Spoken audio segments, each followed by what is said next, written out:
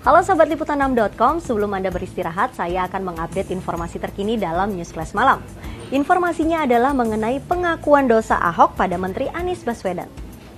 Gubernur DKI Jakarta Basuki Cahayapurnama mengakui dosa-dosanya kepada Menteri Pendidikan dan Kebudayaan Anies Baswedan. Pria yang disapa Ahok ini mengaku pernah memberi bantuan kepada sejumlah sekolah yang tidak sesuai standar persyaratan. Hal ini diungkapkan Ahok saat Indonesian Corruption Watch atau ICW menggelar diskusi publik yang bertema pengelolaan guru, sentralisasi atau desentralisasi.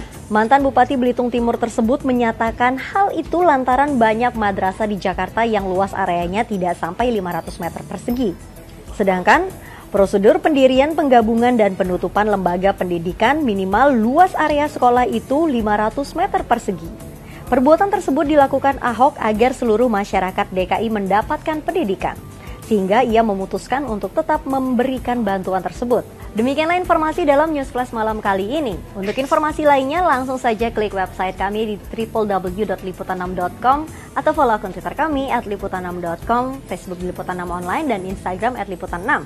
Saya pamit undur diri, selamat malam.